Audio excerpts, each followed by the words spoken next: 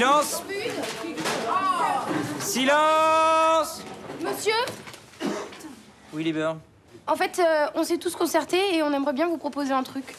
je vous écoute. Voilà. Alors, on oublie le devoir d'hier et on en refait un autre la semaine prochaine. Non, ça va pas être possible, ça, j'ai déjà corrigé vos copies. Mais monsieur, ça se fait pas, s'il vous plaît. On n'avait pas révisé, on s'est tous plantés, quoi. Je vous confirme. Et alors, euh, du coup, ça sert à quoi? Ça sert à évaluer votre anglais. Vous, par exemple, Margot Libert, vous avez trois. euh, Avec Madame Thompson, j'avais plus en général. Elle devait noter large. Leroux, Émilie. Deux.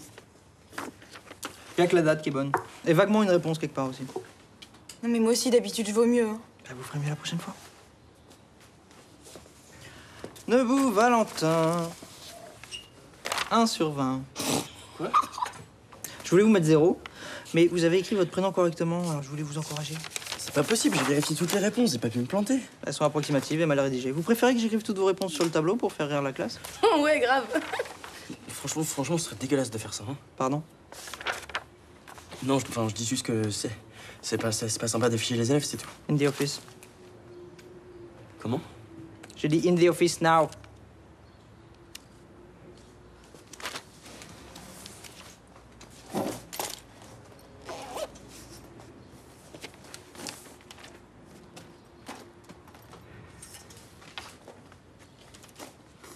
En même temps c'est normal, hein. vous avez essayé de l'afficher, c'est défendu. Vous voulez rejoindre votre frère chez le proviseur?